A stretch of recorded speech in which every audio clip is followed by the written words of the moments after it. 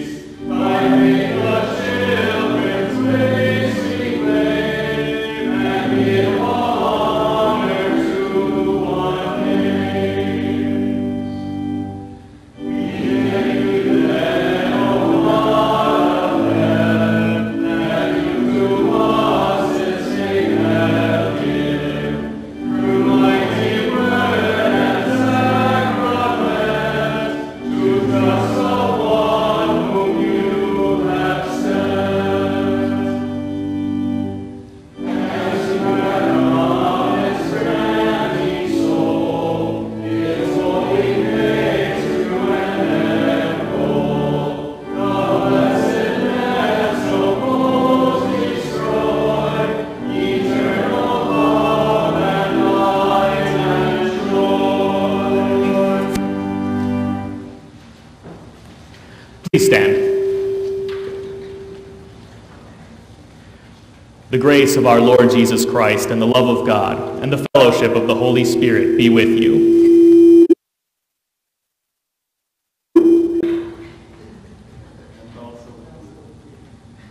We have come into the presence of God, who created us to love and serve him as his dear children. But we have disobeyed him and deserve only his wrath and punishment. Therefore, let us confess our sins to him and plead for his mercy. Merciful Father in heaven, I am altogether sinful from birth. In countless ways I have sinned against you, and do not deserve to be called your child. But trusting in Jesus, my Savior, I pray, have mercy on me according to your unfailing love. Cleanse me from my sin and take away my guilt. God, our Heavenly Father, has forgiven all your sins. By the perfect life and innocent death of our Lord Jesus Christ, he has removed your guilt forever. You are his own dear child. May God give you strength to live according to his will. In the peace of forgiveness, let us praise the Lord.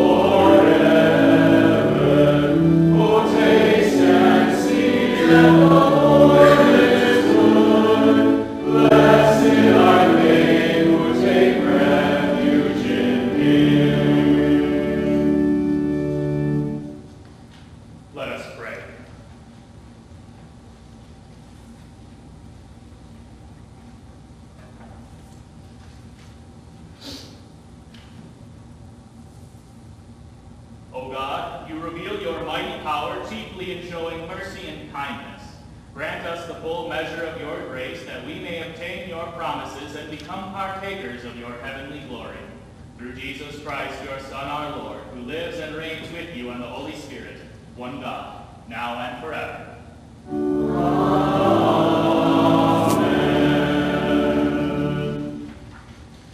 You may be seated.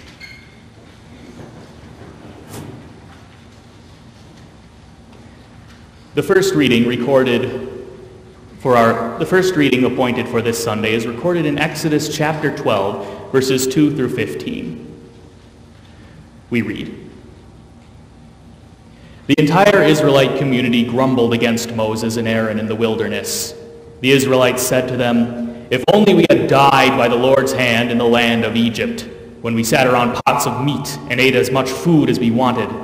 But now you have brought us out into this wilderness to have this whole community die of hunger. Then the Lord said to Moses, Watch what I will do. I will rain down bread from heaven for you, and the people will go out each day and gather enough for that day. In this way I will test whether they will follow my instructions or not. On the sixth day they will prepare what they bring in, and it will be twice as much as they gather on the others on the other days. So Moses and Aaron said to all the Israelites, At evening you will know that it was the Lord who brought you out of the land of Egypt, and in the morning you will see the glory of the Lord, because he has heard your constant grumbling against the Lord. Who are we that you should grumble against us? Moses said. Now the Lord will give you meat to eat in the evening, and as much bread as you want in the morning, because the Lord has heard your grumbling against him. Who are we? Your grumbling is not against us, but against the Lord. Then Moses said to Aaron, Tell the entire Israelite community, Come before the Lord, because he has heard your grumbling. As Aaron spoke to the Israelite, to the entire Israelite community, they turned toward the wilderness, and suddenly the glory of the Lord appeared in the cloud. The Lord spoke to Moses, I have heard the grumbling of the Israelites. Say to them, At evening you will eat meat, and in the morning you will eat bread until you are full. Then you will know that I am the Lord your God. So in the evening quail came and covered the camp, and in the morning a layer of dew surrounded the camp. When the layer of dew was gone, there were thin flakes on the surface of the wilderness, thin as frost on the ground. When the Israelites saw it, they said to one another, What is it? Because they did not know what it was. Moses said to them, This is the bread which the Lord has given to you as food to eat. The word of the Lord. We'll continue with the psalm of the day, Psalm 145.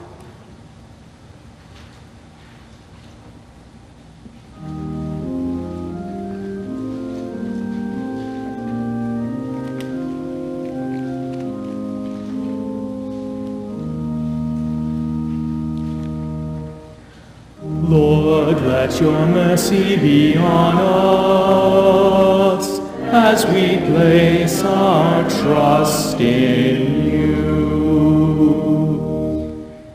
Great is the Lord and most worthy of praise. His greatness no one can fathom. One generation will commend your works to another. They will tell of your mighty acts. The Lord upholds all those who fall and lifts up all who are bowed down. Lord, let your mercy be on us as we place our trust in The eyes of all look to you, and you give them their food at the proper time. You open your hand and satisfy the desires of every living thing. The Lord is near all who call on him,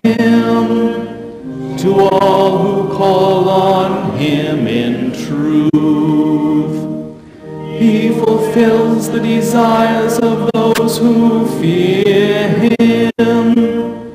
He hears their cry and saves them.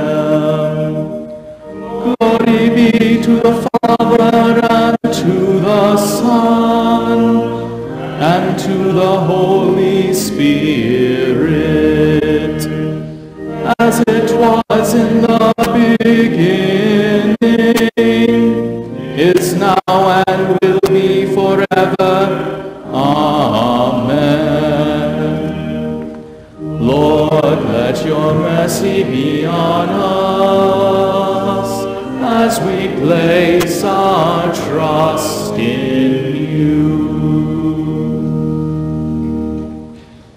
The second reading is recorded in Ephesians chapter 4, verses 17 through 24. We read, So I tell you this and testify to it in the Lord. Do not walk any longer as the Gentiles walk in their futile way of thinking. They are darkened in their understanding, alienated from the life of God because of the ignorance that is in them, due to the hardness of their hearts. Because they have no sense of shame, they have given themselves over to sen- sensuality with an ever-increasing desire to practice every kind of impurity. But you did not learn Christ in that, in that way, if indeed you have learned of him and were taught in him, since the truth is in Jesus. As far as your former way of life is concerned, you were taught to take off the old self, which is corrupted by its deceitful desires, and to be renewed continually in the spirit of your mind, and to put on the new self, which has been created to be like God in righteousness and true holiness. The word of the Lord. Alleluia. Jesus replied, If anyone loves me, he will obey my teaching. My Father will love him, and we will come to him and make our home with him. Alleluia.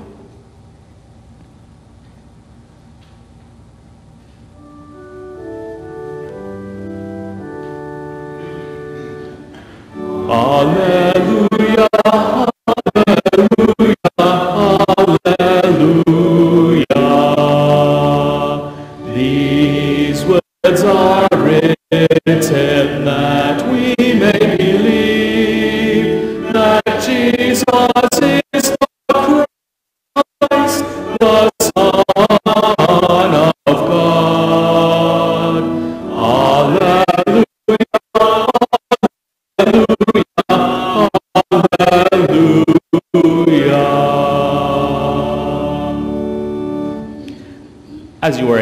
Out of respect for the words and works of Christ, please stand for the gospel reading. The Holy Gospel appointed for the 11th Sunday after Pentecost is recorded in John chapter 6, verses 24 through 35. We read, When the crowd saw that neither Jesus nor his disciples were there, they got into the boats and went to Capernaum looking for Jesus. When they found him on the other side of the sea, they asked him, Rabbi, when did you get here? Jesus answered them, Amen, amen, I tell you, you are not looking for me because you saw the miraculous signs, but because you ate the loaves and were filled. Do not continue to work for the food that spoils, but for the food that endures to eternal life, which the Son of Man will give you. For on him God the Father has placed his seal of approval. So they said to him, What should we do to carry out the works of God? Jesus answered them, This is the work of God, that you believe in the one he sent. Then they asked him, So what miraculous sign are you going to do, that we may see it and believe you? What miraculous sign are you going to perform? Our fathers ate the manna in the wilderness, just as, as it is written, He gave them bread from heaven to eat. Jesus said to them, Amen, amen, I tell you, Moses did not give you the bread from heaven, but my Father gives you the real bread from heaven. For the bread of God is the one who comes down from heaven and gives life to the world. Sir, they said to him, give us this bread all the time.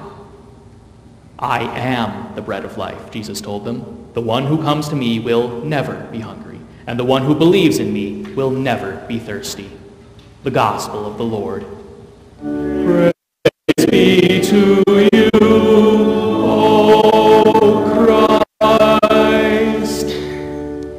may be seated for the hymn of the day, hymn 402.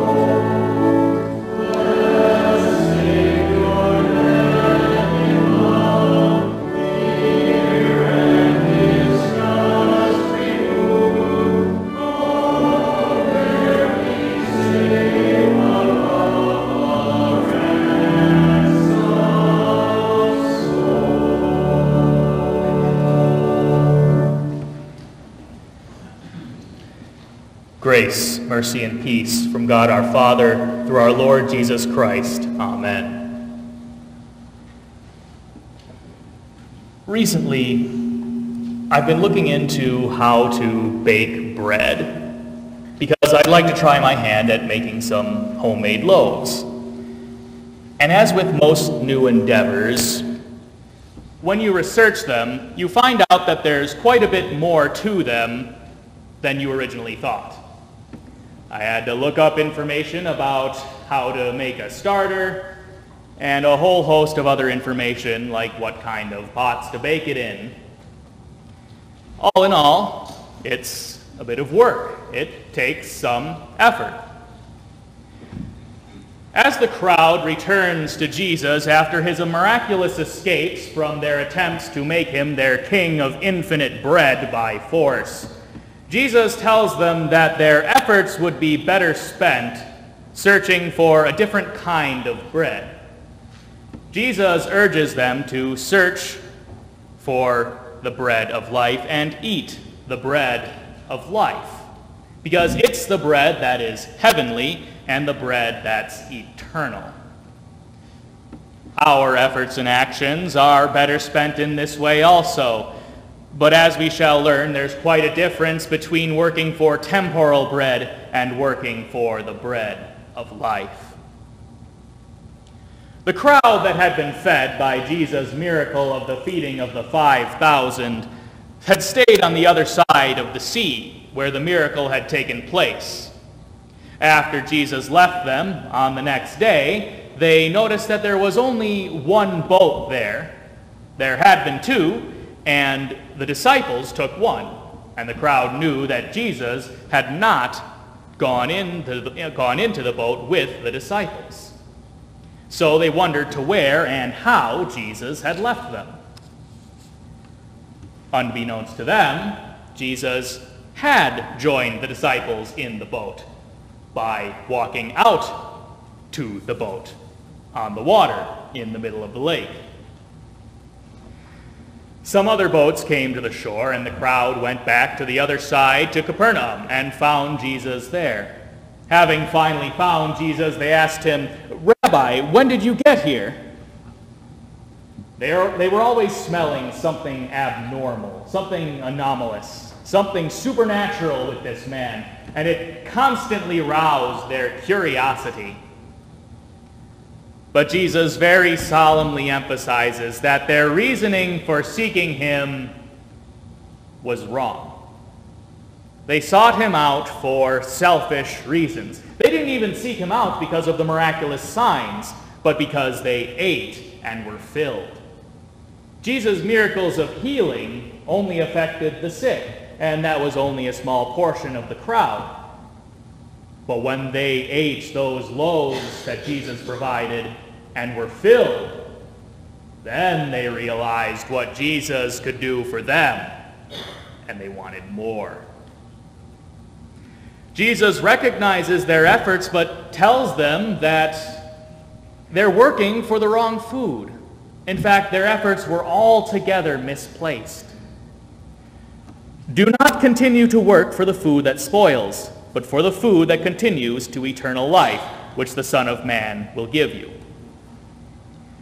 They wanted earthly bread, but Jesus directs them to heavenly bread. Interestingly, Jesus says, don't continue to work for perishable food, and says the heavenly bread will be given. And then, when they ask him what works they should do, Jesus tells them this This is the work of God, that you believe in the one he sent. Jesus says it will be given to them, but then says that believing in the one sent is the work of God. This is because faith is a work. That may be a confusing statement, but let's analyze Jesus' words. The people come to him again looking for earthly bread, but Jesus tells them that looking for that is not the ultimate purpose of life, but rather it is to acquire heavenly bread. They ask him what they must do to acquire it, and Jesus says that their work is to believe the one God sent. It certainly sounds odd to hear that faith is a work. After all, we hear we know from scripture full well that it says salvation is by faith and not by works, setting a clear contrast between the two.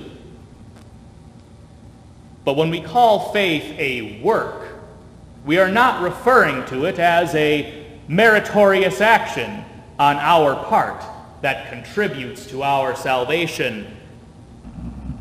We call faith a work because it is something that the believer does.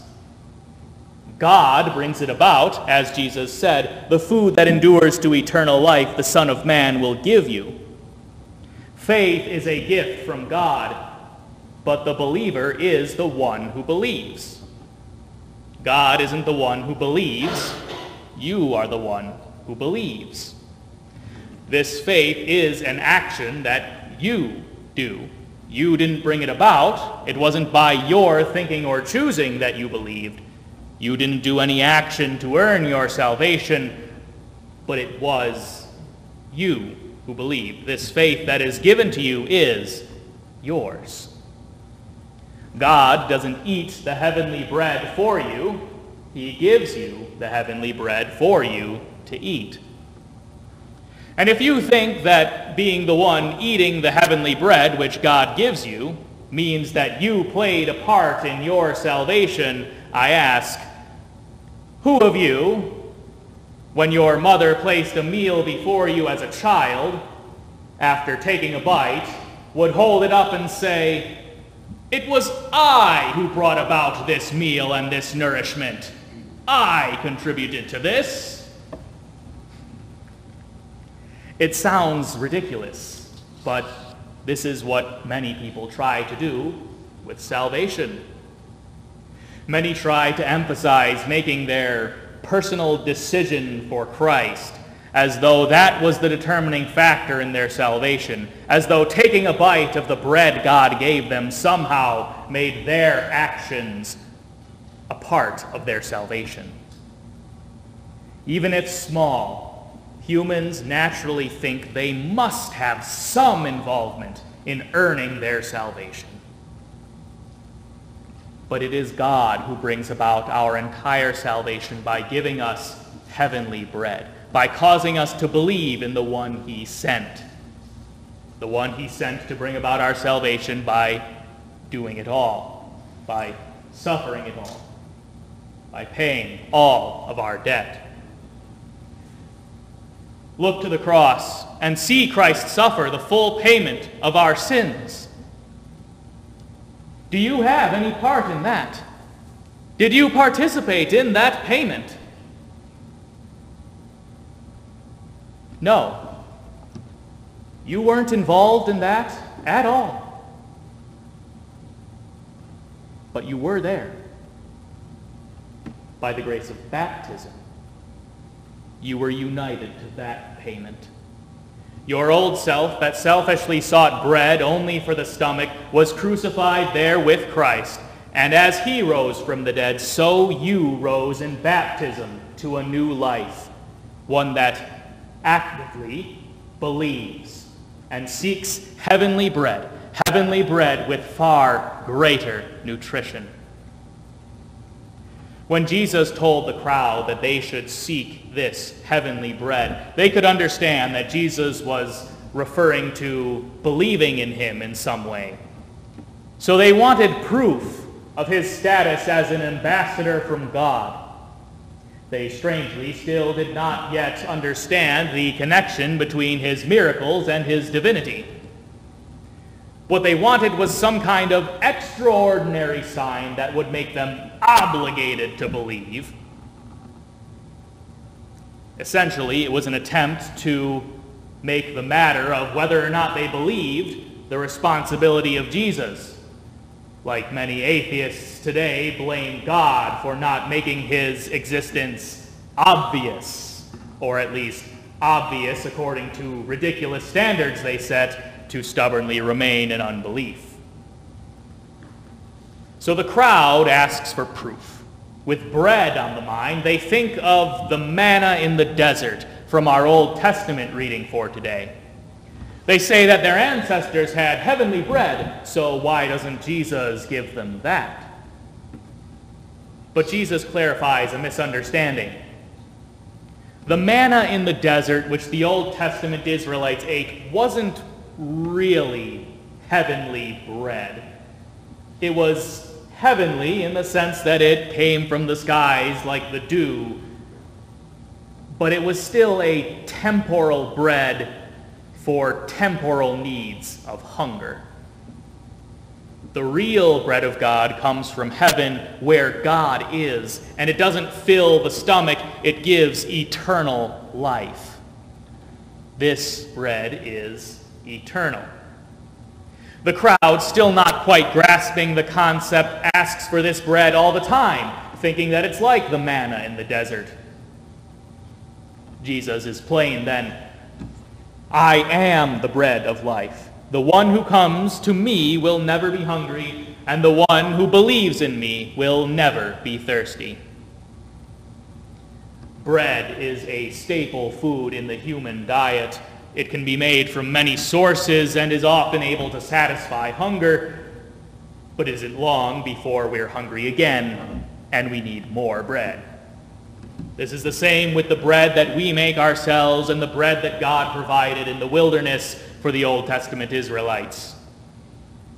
Jesus is offering bread that promises real satisfaction. This bread is eternal. Again, just like last week, Jesus warns against seeking only temporal food. Physical food, while important for our daily survival, is not the highest need of mankind. The highest need of mankind is salvation from our damned state. Eternal food to give, to give us eternal life instead of eternal starvation and eternal death. This is the food we need. Jesus is the bread of life we need that prevents our eternal starvation. To eat the bread of life means to believe in Jesus, to believe that his sacrifice on the cross has satisfied the wrath of God for our sins and won for us immortality in paradise. He is the eternal bread of God. The bread of God the bread of life, is the only source of eternal nutrition to prevent both our spiritual and physical death. Because whoever partakes of this bread, both his body and soul will be kept safe for all eternity. Even though he may die, his soul will go to where the bread which sustained him came from, and his body will rest until it is awakened by this bread coming down from heaven once more on the last day. Eat the bread of life. It's eternal bread. It's heavenly bread. Believe in Jesus. He is the heavenly ambassador. He gives eternal life. Amen. Please stand. The peace of God, which transcends all understanding, will guard your hearts and minds through Christ Jesus. Amen. We'll join in our confession of faith in the Apostles' Creed. I believe in God the Father Almighty, maker of heaven and earth. I believe in Jesus Christ, his only Son, our Lord, who was conceived by the Holy Spirit, born of the Virgin Mary, suffered under Pontius Pilate, was crucified, died, and was buried. He had descended into hell. The third day he rose again from the dead. He ascended into heaven and is seated at the right hand of God the Father Almighty. From there he will come to judge the living and the dead. I believe in the Holy Spirit, the holy Christian church, the communion of saints, the forgiveness of sins, the resurrection of the body, and the life everlasting. Amen. You may be seated.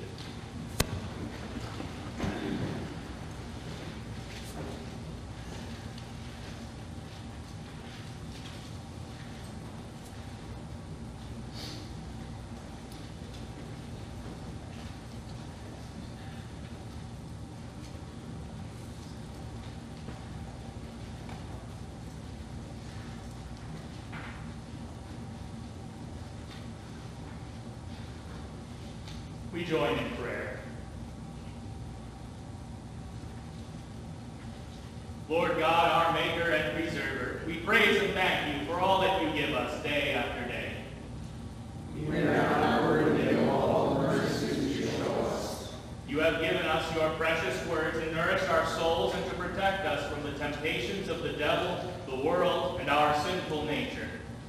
We thank you for those who teach and preach your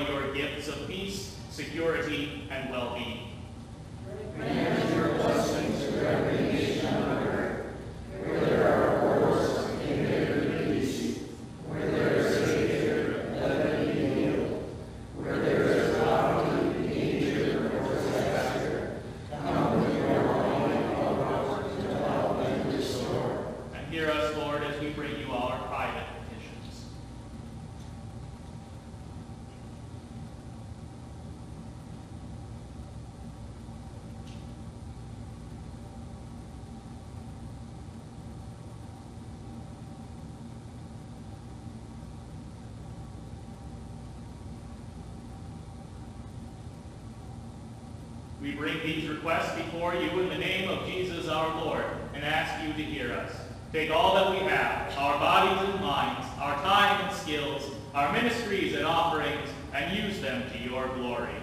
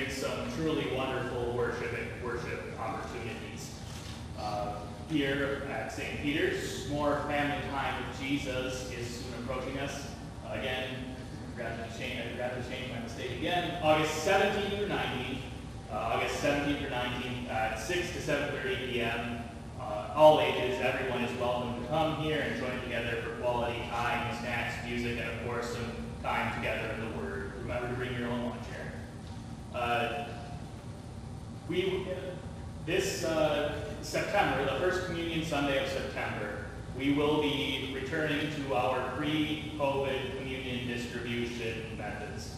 Uh, as such, we will still have a few of the pre-packaged uh, communion sets in the back for anyone who is uncomfortable with coming up to the altar just yet, but uh, we talked it over at the previous church council, uh, at the previous uh, council meeting, and uh, we believed it was very important to return to the, to the normal distribution methods, especially to allow for everyone to have the proper time to prepare themselves to receive this wondrous and blessed gift that God gives us in the sacrament.